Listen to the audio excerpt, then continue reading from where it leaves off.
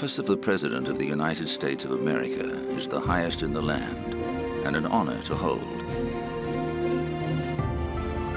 It is also of international importance as the President is a world leader and his decisions can affect us all.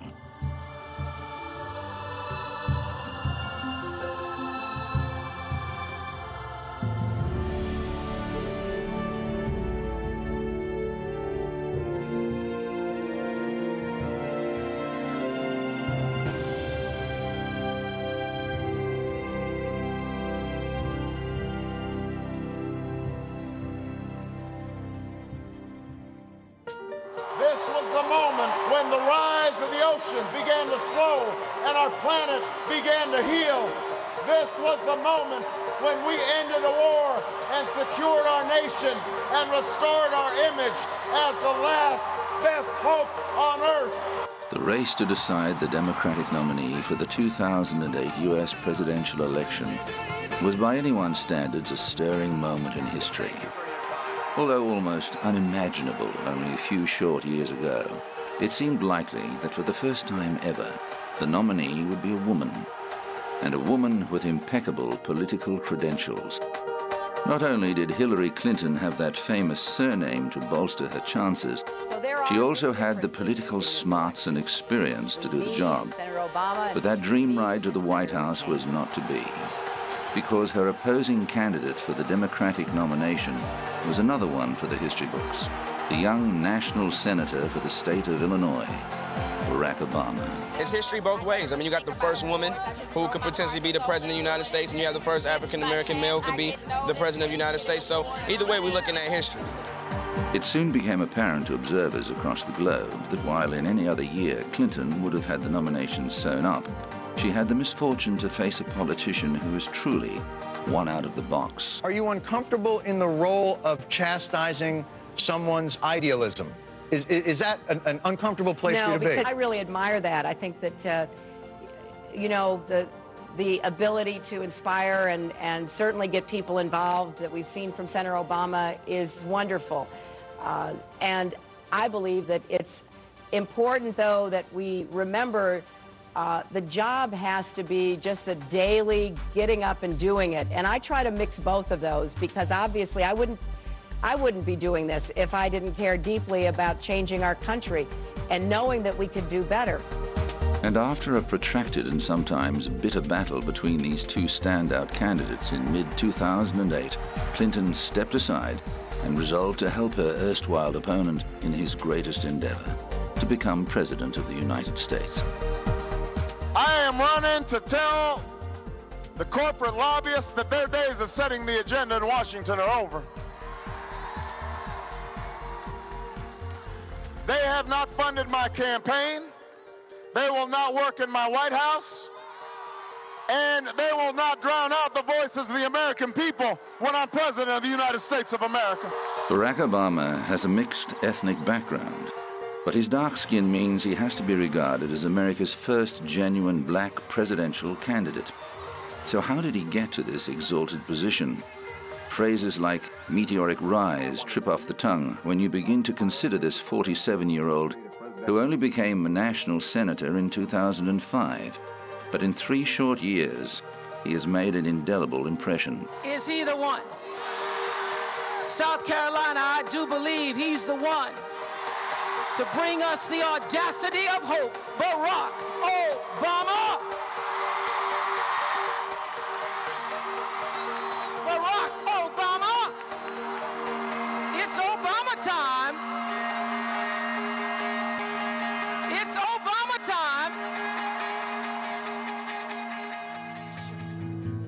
Barack Hussein Obama was born on the 4th of August 1961 in Honolulu, Hawaii. His father, also named Barack, was a Kenyan of the Luo tribe, born in Eligo near Lake Victoria. His mother was Ann Dunham, a white woman from Wichita, who had moved to Hawaii with her parents in 1959. She and Barack Sr. met while studying at the University of Hawaii where he was the institution's first African student. Mixed racial marriages were still a rarity in the early 60s, and unfortunately this one wasn't to last. By the time he was two years old, Barack's parents had gone their own separate ways. He was to meet his father just once more, when Barack Sr. came to Hawaii for a month-long visit in the early 70s. Before that, his mother took the six-year-old to live in Indonesia, where she married again. Her second husband was another student from the University of Hawaii, Lolo Soetoro, who had proposed to her before returning to Indonesia. I think Barack Obama's great strength for Democratic voters is his story, which he's emphasized. Um, it's an uh, inspirational story. It's a story of a great merit, of somebody who has um, overcome uh, enormous personal obstacles and has arisen as a result of his uh, talent, skills, energy, and diligence. Obama's life in Indonesia was idyllic for a young boy, and in 1970 his mother presented him with a half-sister, Maya. But Ann was keen for her son to experience an American education, and so sent him back to Hawaii to live with his grandparents, known as Gramps and Tut, when he was just 10 years old. In some ways, it's a story similar to Bill Clinton's. Um, he's raised by a, in some ways, with a single mother and um, has a broken family, um, and yet uh, finds himself um, uh, rising uh, to uh, these positions all on his own. Sadly, Ann's second marriage failed too, and she returned with Maya to Hawaii to join her son and study for her master's degree in anthropology. As Obama's teen years progressed, he began to question his identity more and more. From 1971 to 1979, he was enrolled in the prestigious Punahou Academy, where he excelled both in his studies and at basketball but was conscious of being one of the few black faces on campus. Learning all he could about black history, the civil rights movement, and political struggle left him confused and torn between his loyalty to the three white faces who had raised him and his growing awareness of what it meant to be black in America. His grades began to slip, and he experimented with drugs but he still did well enough in his studies to get a place at the small but well-regarded Occidental College in Los Angeles, transferring after his sophomore year to the much larger Columbia University in New York, the alma mater of such political heavyweights as Boutros Boutros-Ghali and Madeleine Albright and President Eisenhower. After graduating with a BA in political science in 1983, Obama moved to Chicago and it was here his interest and talent for activism and grassroots politics really took hold. Working as a community organizer in the most disadvantaged areas of Chicago, he developed his skills and resources and accomplished some positive reforms, such as establishing a job training program and a tenants' rights organization in the significantly disadvantaged suburb Altgeld Gardens, it was also during this period that he first encountered Reverend Jeremiah Wright, a firebrand preacher whose rousing sermons prompted a religious epiphany in the formerly reticent Obama. It was an association that meant a great deal to Obama, but one that was to cause him grief in the years to come. Mostly, though, Obama's experience in Chicago taught him that if he was to accomplish anything really meaningful and lasting, he needed more skills. He needed the legal know-how to get things done. And in 1988, he applied for and was accepted into Harvard Law School. But before he was ready to take his place in those hallowed halls, there was one more trip he needed to take. I am so proud to come back home and to see all since being informed by a long-distance phone call of his father's death in a car accident in 1982, Obama had continued to struggle with questions of self-identity and understanding his roots. He thought a five-week visit to his father's homeland might give him some answers. While in Kenya, he learned much about who his father really was, met his half-brothers and sisters and many more members of his vast extended family, and began to understand his own complicated position as one who had grown up with the sort of privileges and opportunities most of his relations could only dream about. Whenever I see a young boy, five or six or seven or eight or ten, I think about my father. And I think about the journey that he traveled. So many miles and such a great distance. And I think about those young boys and I think there's no reason why they can't do the same. He returned to the U.S. invigorated and inspired. Entering Harvard in late 1988, he hit the ground running. By the end of his first year, he was an editor of the Law Review, and a year later he was elected as the first black president of the Harvard Law Review, an achievement so impressive he was even offered an advance to write a book about race relations.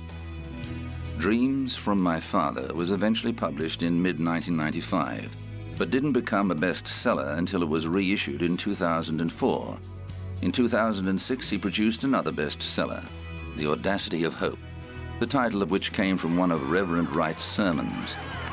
Before that, though, he graduated magna cum laude from Harvard, worked as a lawyer, received a fellowship at the University of Chicago, where he taught constitutional law for 12 years and sat on a number of boards. His personal life was falling into place. In October 1992, he married lawyer Michelle Robinson. In The Audacity of Hope, Obama says of his wife, if I ever had to run against her for public office, she would beat me without much difficulty. And he's not the only one who thinks so. Michelle is widely regarded as an impressive and formidable talent in her own right.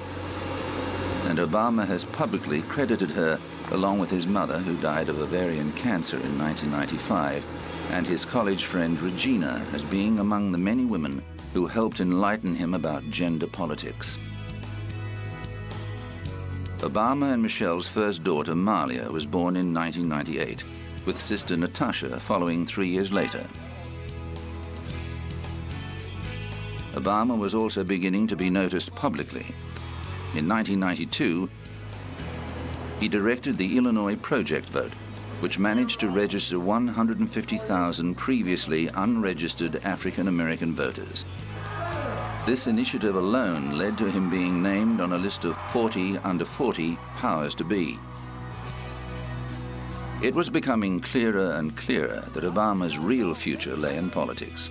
But first, he had to get a name for himself. He's black. That's all I know about him. I just uh, don't know anything about him. I don't know. I haven't really decided. He seems like a nice guy, but I haven't quite decided. Well, the, uh, that's why we have campaigns. That's why we're here today, so that people get a chance to get to know me. In 1996, Obama was elected to the Illinois State Senate. He was subsequently re-elected in 1998 and 2002, using his time in the Senate to negotiate welfare reform while focusing on health care and other issues facing people on low incomes. During this period, he suffered the first major setback of his political career to date when he ran for the U.S. House of Representatives in 2000, but was outvoted by two to one. Getting back on the horse, Obama took the loss in his stride and tried to learn all he could from the experience. A couple of years later, he was ready for the next step and announced his intention to run for the U.S. Senate. After gaining the Democratic nomination, he was due to face off against a formidable opponent, Jack Ryan, the Republican primary winner. But when less than savory details were released about Ryan's divorce from Hollywood actor Jeri Ryan, he was forced to withdraw from the race. Investigation. Uh, I think that it should be done in conjunction with uh, those uh, congressional committees that have oversight uh, so that it is not uh, simply an internal matter.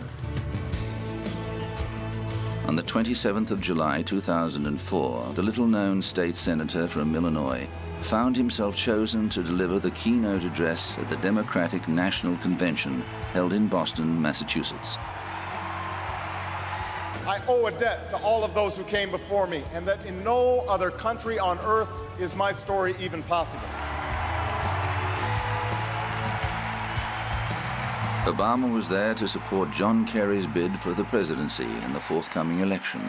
America, tonight, if you feel the same energy that I do, if you feel the same urgency that I do, if you feel the same passion that I do, if you feel the same hopefulness that I do, If we do what we must do, then I have no doubt that all across the country, from Florida to Oregon, from Washington to Maine, the people will rise up in November and John Kerry will be sworn in as president and John Edwards will be sworn in as vice president.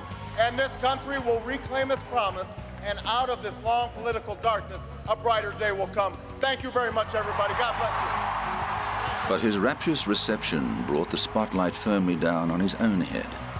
From this moment on, the buzz began to grow that perhaps the self-described skinny kid with a funny name who believes that America has a place for him too could actually find that place in the most exalted office in the land, the White House. And I think what Barack represents is hope for anybody. It doesn't matter what color you are or what creed, it's hope. You know, if you can dream, you can do it, you know, and I think that's why he's so refreshing. But Obama's first challenge was the National Senate. Sworn in on the 4th of January 2005, Obama quickly surrounded himself with an impressive team of political advisors. Only the fifth African American senator in U.S. history, Obama was determined to make his presence and allegiances felt. He took assignments on committees focusing on his primary concerns health, education, labor and pensions, and homeland security. But despite being ranked the most liberal senator by the National Journal in 2007, he would regularly endorse bipartisan issues. Co-sponsoring an Immigration Reform Act introduced by his future Republican opponent John McCain, and co-introducing an expansion of an existing initiative to dismantle weapons of mass destruction.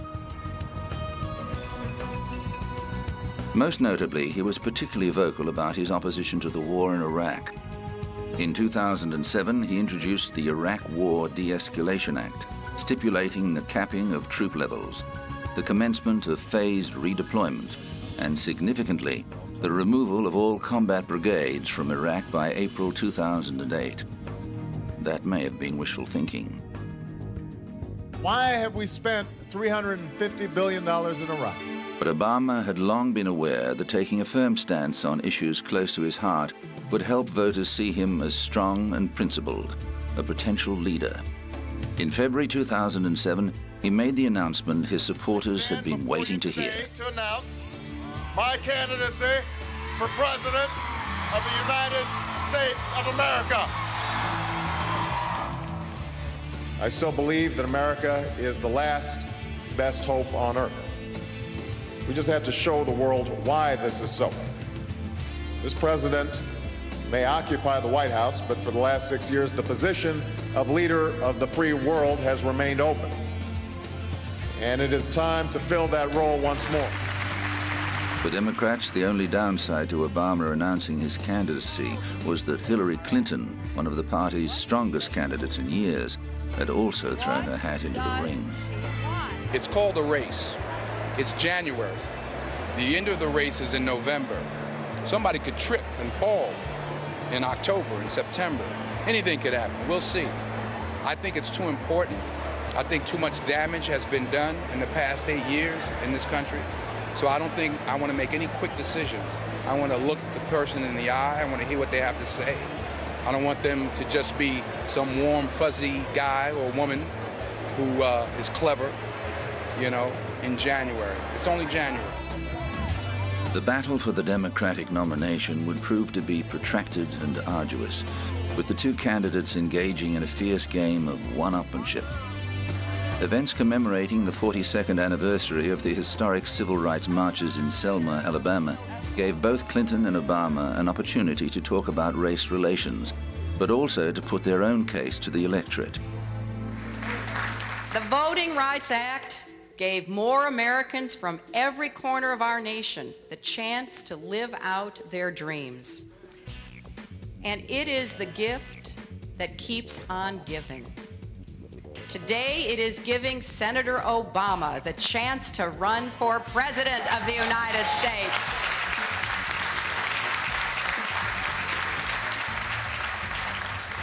And by its logic and spirit, it is giving the same chance to Governor Bill Richardson, a Hispanic. And yes, it is giving me that chance too.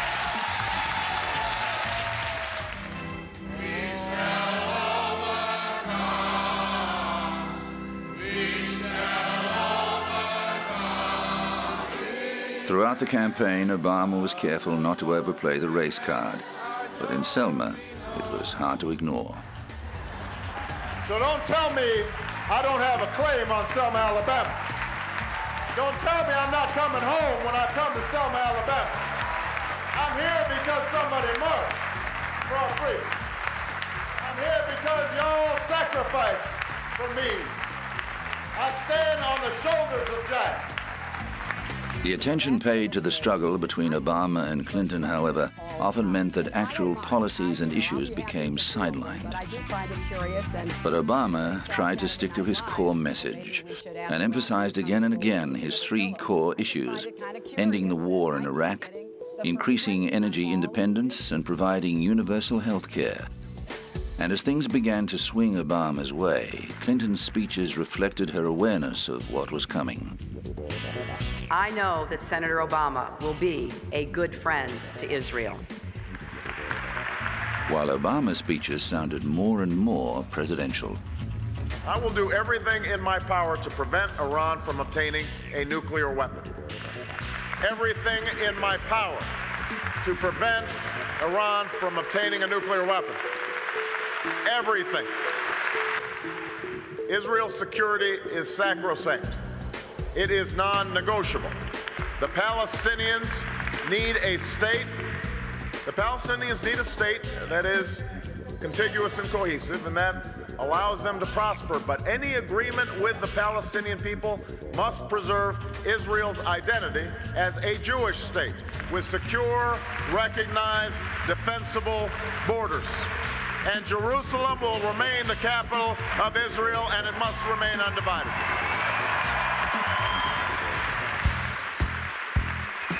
And eventually his persistence paid off.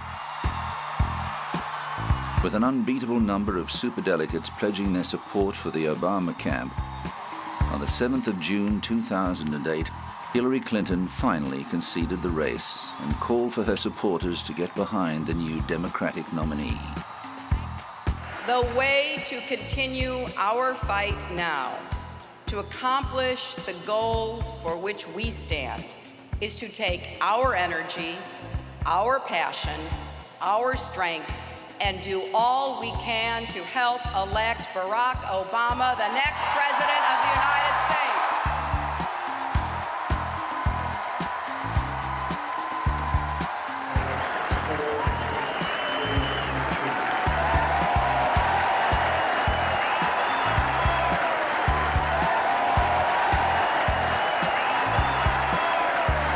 Obama seized the day in typically rousing style. This was the moment when the rise of the oceans began to slow and our planet began to heal. This was the moment when we ended a war and secured our nation and restored our image as the last best hope on earth. With the Democratic nomination under his belt, it was time to face his next opponent, the Republican presidential nominee, Arizona State Senator John McCain. Despite having worked together on that Immigration Reform Act, the two men couldn't be more different. Born in 1936, McCain is 25 years older than Obama and a retired Navy captain. Much of his initial appeal to voters lay in his impressive military record, which included capture and prolonged torture in Vietnam in 1967. Highly decorated, his medals include the famed Purple Heart. On the downside, he's been seen as a mere continuation of his predecessor. You'll hear from my opponent's campaign in every speech, in every interview, every press release that I'm running for President Bush's third term. You'll hear You'll hear every policy of the president is described as the Bush-McCain policy. Whether Barack Obama can go all the way is yet to be seen. But whatever happens in November 2008, what cannot be refuted is that his career to date has been one for the history books. For such a comparatively young and inexperienced politician, his campaign strategies have been extraordinarily well thought out and executed. But that's not to say there haven't been missteps. One of the most significant concerned his long-term pastor and friend, the Reverend Jeremiah Wright. We bombed Hiroshima, we bombed Nagasaki, and we nuked far more than the thousands in New York and the Pentagon, and we never batted an eye. Wright's sermons had always been passionate and outspoken, but by March 2008 it was clear that Obama's association with the outspoken cleric was harming his reputation, and he regretfully disassociated himself from the church. As imperfect as he may be, he has been like family to me. He strengthens my faith, officiated my wedding, and baptized my children. Not once in my conversations with him have I heard him talk about any ethnic group in derogatory terms, or treat whites with whom he interacted with anything but courtesy and respect. He contains within him the contradictions, the good and the bad, of the community that he has served diligently for so many years. Then there was the link to Scarlett Johansson, when talk began to spread of an email relationship between the Hollywood actress and the presidential candidate. I've been a supporter of surrogate of the Obama campaign for some time now, and you know, I think I was originally uh, interested in, and attracted to Barack Obama because of his opposition to the war in Iraq, and I just think that he has amazing policies, and I think that he really is is um, leading the, this incredible, inspiring movement for change, and I want to be a part of it. Perhaps mindful of the trouble previous Democratic presidents had faced due to their associations with attractive younger women, Obama was swift to downplay the connection, telling reporters she didn't even have his personal email address. He said Johansson had sent an email to his assistant, Reggie Love, and he'd merely sent her a thank you note. Perhaps Johansson should have followed the lead of George Clooney, one of the few celebrities experienced enough to know that his support could be a double-edged sword. Oh, I'm a big Obama guy. I've been an Obama guy from the very beginning. I, but, you know, throwing your weight can often be, uh, you know, the elephant in the room if you're not careful. So, I, you know, my father ran for Congress, and I didn't campaign for him because you can actually hurt him. Uh, so you, you, the, the idea is to try and support as much as you can and not get in the way. Of greater concern to the Obama camp was the fallout he faced in April 2008 following his now infamous bitter speech when he talked about small towns in the Midwest becoming bitter because they'd been let down by successive administrations.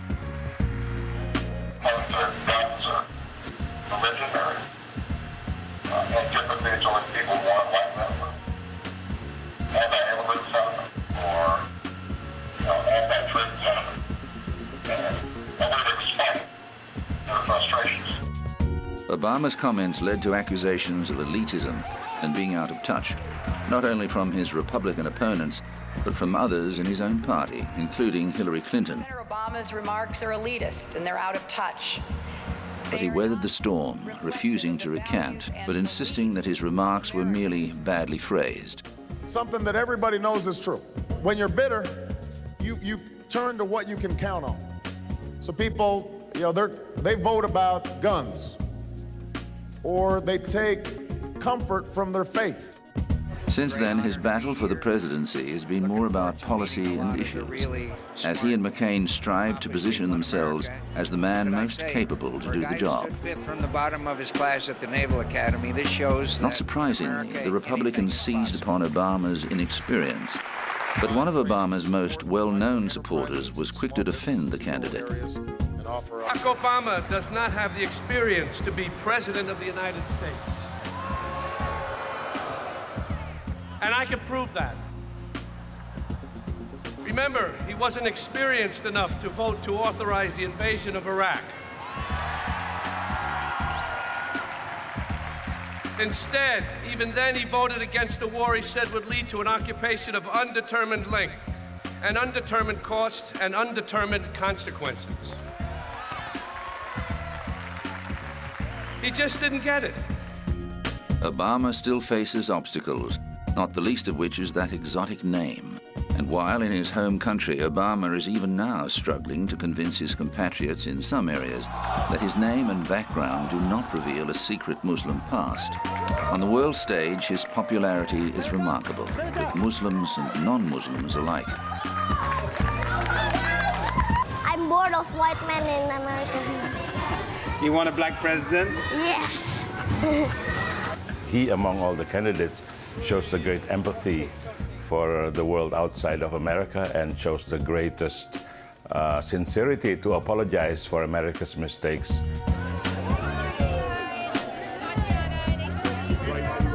One thing, because he is, uh, I'll say, a multicultural person, but he uh, is a voice that we haven't heard in a long time. A voice that we trust, a voice that brings us all together, that is black, white, Asian, uh, Indian, whatever. In July 2008, he made a brief tour overseas, first visiting the Middle East. His trip coincided with an attack by an Arab in which 24 Israelis were injured, just down the road from Obama's hotel. And it's just one more reminder of why we have to work diligently, urgently, and in a unified way to defeat terrorism. Uh, there are no excuses, absolutely committed to working with the Israeli government to make sure that these kinds of occurrences do not happen. And my thoughts and prayers go out to the families uh, that uh, have suffered as a consequence of today's vicious attacks. Thank you, everybody. Obama then headed to Europe, where he met with heads of state in Germany, France, and Britain. And he overcame the potential embarrassment of not being allowed to speak in front of the Brandenburg Gate as President Kennedy so famously did in 1963 by drawing over 200,000 people to his second choice venue, the Victory Column in Tiergarten Park. No one welcomes war. I recognize the enormous difficulties in Afghanistan. But my country and yours have a stake in seeing that NATO's first mission beyond Europe's borders is a success. For the people of Afghanistan and for our shared security, the work must be done. America can't do this alone. The Afghan people need our troops and your troops, our support and your support to defeat the Taliban and Al Qaeda, to develop their economy, and to help them rebuild their nation. We have too much at stake to turn back now. Yes, there have been differences between America and Europe. No doubt there will be differences in the future. But the burdens of global citizenship continue to bind us together. A change of leadership in Washington will not lift this burden. In this new century, Americans and Europeans alike will be required to do more, not less. Partnership and cooperation among nations is not a choice. It is the only way, the one way to protect our common security and advance our common humanity. History shows that popularity overseas certainly doesn't equate to a win at home, and Obama's standing in the polls lost points following his European tour, amongst accusations of flip-flopping on policies and being little more than a shallow celebrity. The latter was a criticism leveled by the McCain camp in an advertisement juxtaposing Obama with Paris Hilton and Britney Spears.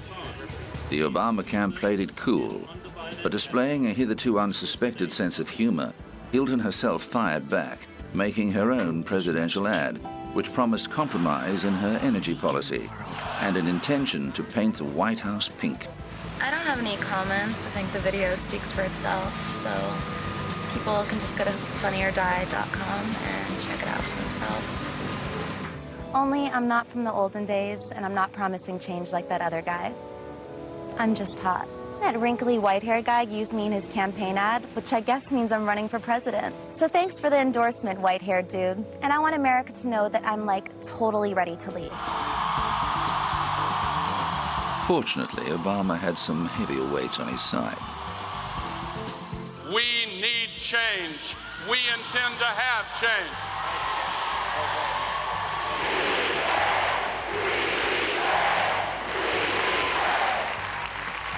He is tough-minded, but he also has an uncommon capacity to appeal to the better angels of our nature. Knock down all of these old barriers that people thought existed with respect to the opportunities that are available for uh, African Americans. And my congratulations to him. Even a professional curmudgeon like Gore Vidal gave him the thumbs up. although it was something of a backhanded compliment. How could he measure himself? What are the measuring rods? What will he do about the court? Whom he's going to appoint to the Supreme Court or the other? Don't you have to ask who he is in a way? Don't you have to ask, is he a bright man? Is he a capable Well, man? apparently he is. You read his speech on race. Yes, I, well, I listened to it. It's quite a remarkable piece. I've spent my life listening to remarkable pieces coming from Winston Churchill and poor Jack Kennedy. I'm not, I'm not fetched by them. But are you gloomy about an Obama presidency? Don't see why I should be. Well, you're gloomy about a lot else. Well, he can't be worse than what we've got. But Obama also showed the ability to attract grassroots support. I think he's going to be a very positive candidate, and I think it's time for change, and I think he represents change. And I hope that everything that he's um, saying, that he stands by it, and look forward to the first black president. And not just among African Americans. Thank you so much. People are supporting him in Iowa. People supported him in Iowa. You know, we saw the news. There were very, very little faces that looked like mine. So I don't think that race is playing a role in this. And of course, this being America, there are always plenty of celebrities to count on. a new, fresh, new candidate, and I was really uh, impressed by the fact that uh, he was not taking any money from uh, special interest groups. It's like it's all individual donors. I thought that was that was the key thing. It wasn't actually the, the blackness, but you know that didn't hurt.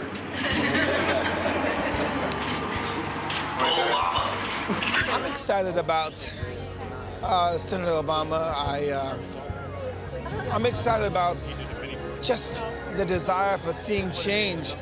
I'm, I'm, I'm- excited about, ecstatic about just how many Americans that are on the same page as me.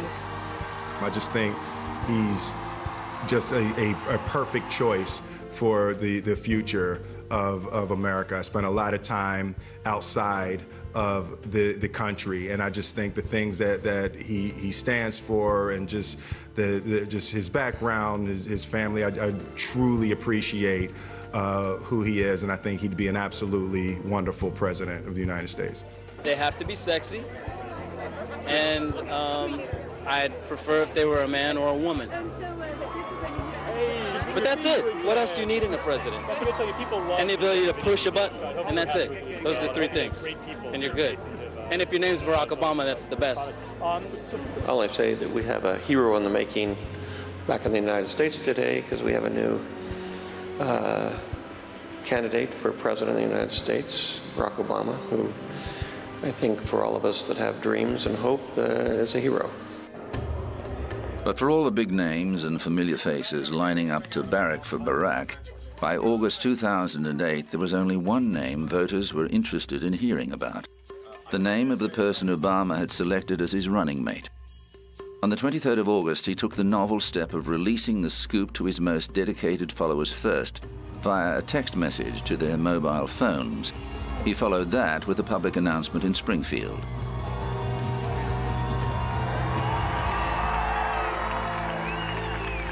A man with a distinguished record, a man with fundamental decency, and that man is Joe Biden. The career politician brought a wealth of experience to the campaign, plus personal qualities that complemented Obama's. Compared to the young, black, inexperienced Obama, the 65-year-old Biden brought maturity, whiteness, and 30 years of experience in the Senate. A dyed-in-the-wool Catholic, he had great appeal to the blue-collar, middle-class, erstwhile Hillary Clinton supporters. He was known for being a plain speaker and a solid friend of the working class. And surprisingly, given his staunch Catholicism, he was also pro-choice on the issue of abortion. There were, however, a few misgivings about the six-term senator, namely his tendency to speak out of turn on occasions. In fact, as soon as he was named as Obama's running mate, the McCain camp swiftly pounced on comments he'd made earlier in the race. about Obama not being ready to be president. Allegations he wittingly countered by referring to McCain's campaign damaging admission that he didn't know how many houses he and his wife owned. You talk about how much you're worried about being able to pay the bills. Well, ladies and gentlemen, that's not a worry John McCain has to worry about. It's a pretty hard experience. He'll have to figure out which of the seven kitchen tables to sit at. I've... On the evening of Monday, the 25th of August 2008, the Democratic Party began its national convention. Obama's wife, Michelle, was among the early speakers. Her address was carefully constructed to banish any lingering worries among the electorate that her husband was not just like them. She emphasized his ordinary family life and his unwavering and unquestionable patriotism. With profound gratitude and great humility, I accept your nomination for presidency of the United States.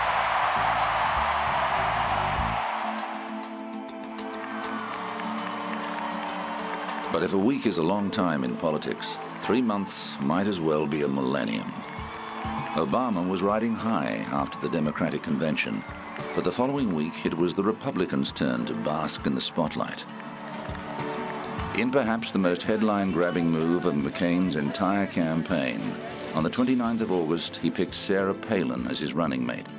The little-known and largely inexperienced governor of Alaska immediately caused a stir, becoming the focus of intense media and public interest. The next Vice President of the United States, Sarah Palin. Her nomination was formally announced at the Republican convention, ensuring that the event, which was downsized as the government responded to the threats posed by Hurricane Gustav, didn't lose momentum for the party.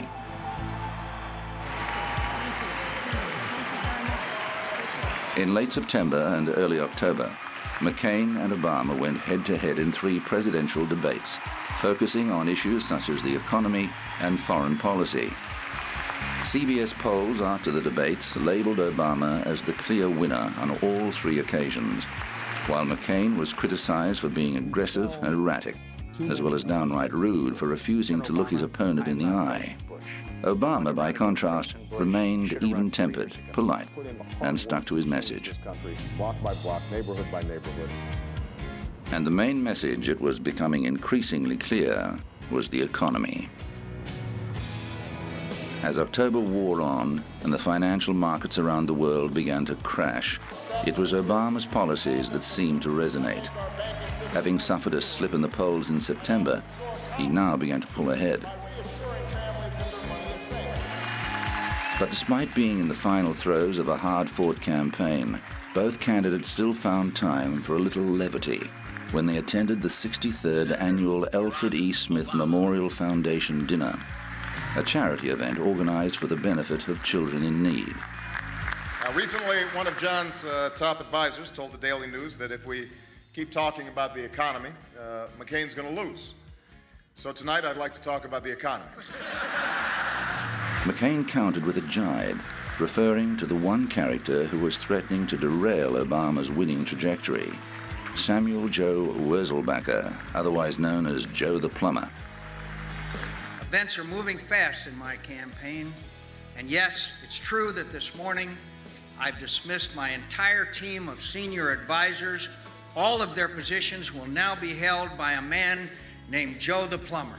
Wurzelbacher was the working man who had approached Obama while he was on the campaign trail in Ohio and complained that Obama's tax policy would negatively affect his business expansion plans. In the third presidential debate, McCain repeatedly referred to Joe the plumber, holding him up as some kind of symbolic everyman. Joe, the plumber's out there. But Obama had his own working class heroes prepared to rock the vote. In mid-October, Bruce Springsteen and Billy Joel joined forces to headline a fundraising concert for Obama in the swing state of Pennsylvania.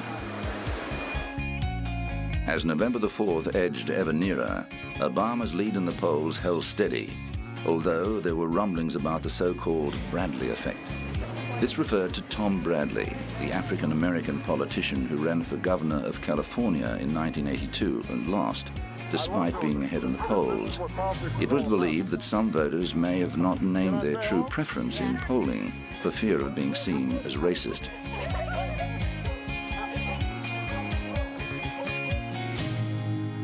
On a personal front, Obama had more pressing worries. The week before the election, he suspended his campaign to make a last visit to Hawaii to see his widowed grandmother, who was gravely ill. The 86-year-old Madelyn Dunham, known affectionately as Toot, died of cancer on November the 2nd. It was an emotional time for Obama, who was on the cusp of the greatest achievement of his political career. But he held it together and told a campaign rally in North Carolina that his beloved grandmother was at peace. Uh, some of you heard that my grandmother, uh, who helped raise me, passed away uh, early this morning. And uh, look, she, she, she has gone home. And she died peacefully in her sleep uh, with my sister at her side. And so uh, there's great joy as well as tears. I'm not going to talk about it too long because it's hard to talk about.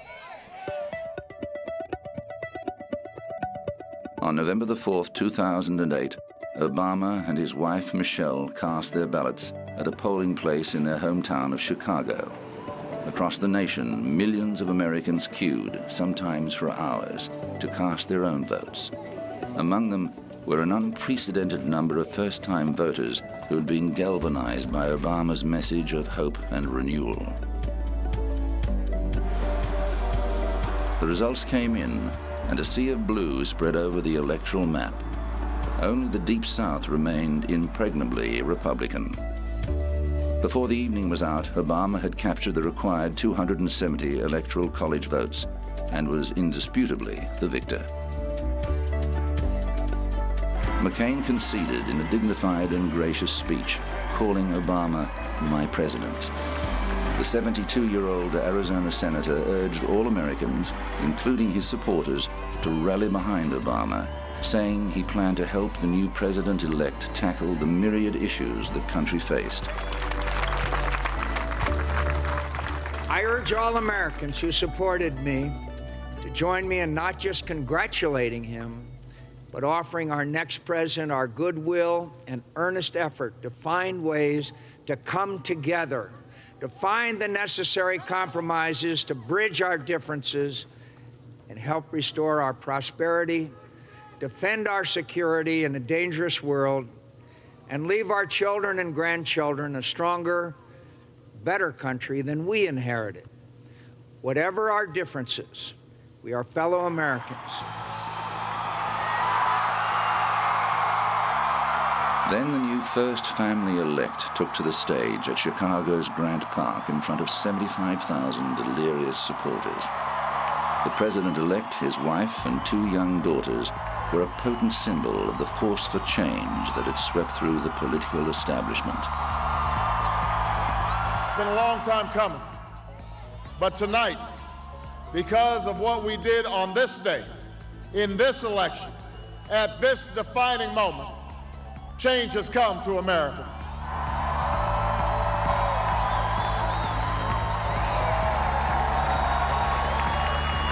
And all those watching tonight from beyond our shores, from parliaments and palaces, to those who are huddled around radios in the forgotten corners of the world, our stories are singular, but our destiny is shared. And a new dawn of American leadership is at hand. Among the crowd watching Obama making history were media powerhouse Oprah Winfrey and political veteran Jesse Jackson.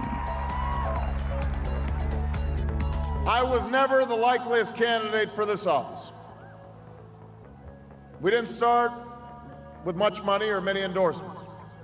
Our campaign was not hatched in the halls of Washington. It began in the backyards of Des Moines, in the living rooms of Concord, and the front porches of Charleston. During his speech, President-elect Obama told the story of 106-year-old Ann Nixon Cooper, born one generation past slavery, who had lived through the worst of times, but survived to see the best. This year, in this election, she touched her finger to a screen and cast her vote. Because after 106 years in America, through the best of times and the darkest of hours. She knows how America can change. Yes, we can. Obama has galvanized a country bitter and divided over economic woes, debilitating wars, and fractured dreams. Its people dearly hope that the next four years will see his promise fulfilled. This is our moment. This is our time to put our people back to work and open doors of opportunity for our kids, to restore prosperity and promote the cause of peace, to reclaim the American dream and reaffirm that fundamental truth that out of many we are one, that while we breathe, we hope, and where we are met with cynicism and doubt and those who tell us that we can't, we will respond with that timeless creed that sums up the spirit of a people. Yes, we can. Thank you. God bless you. And may God bless the United States of America.